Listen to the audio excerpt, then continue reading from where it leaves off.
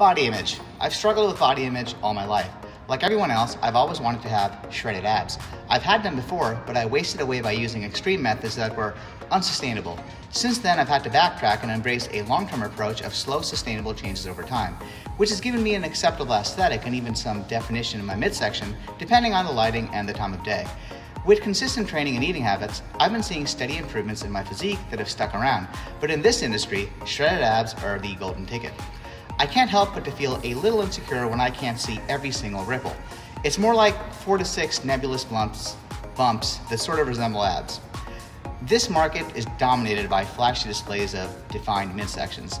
They're the distinguishing feature of what the general public thinks a healthy person looks like. And having had looked like that, I can tell you that's not necessarily true. You can be extraordinarily unhealthy and be peeled.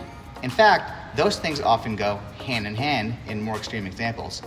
Here's the problem the amount of leanness required to see that kind of definition is diametrically opposed to muscle retention. And if you lose too much muscle, you lose ab definition as well. Asking your body to be this lean and yet hold on to muscle is asking it two entirely different things, which is what makes this almost unachievable or at least unsustainable for a lot of people.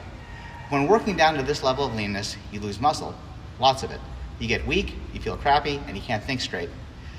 There are some people who are genetically predisposed to being lean and muscular, and others who are on enough drugs to kill a woolly mammoth. If you aren't in these categories, this is about the long game. You need to be patient and be okay with not being single digit body fat. Single digit body fat is neither healthy or sustainable for 99% of the population, and is nothing you should aspire to. In fact, athletic performance and energy levels at that level of leanness are pretty dismal. You might look like an athlete in the eyes of the public, but your actual abilities in pretty much anything are generally going to be shit if you're too lean. Don't worry, even if you aren't single digit shredded, you will still look and feel great at a body fat in the low to mid teens for men and high teens to low 20s for women. And you'll probably be lean enough to see some abdominal definition. You look great at the beach, you'll perform well in sports, and you won't feel like dog shit. So unless you're a physique competitor or a competitive bodybuilder, that's what you should aim for. But it's time to stop seeing shredded as normal and sustainable.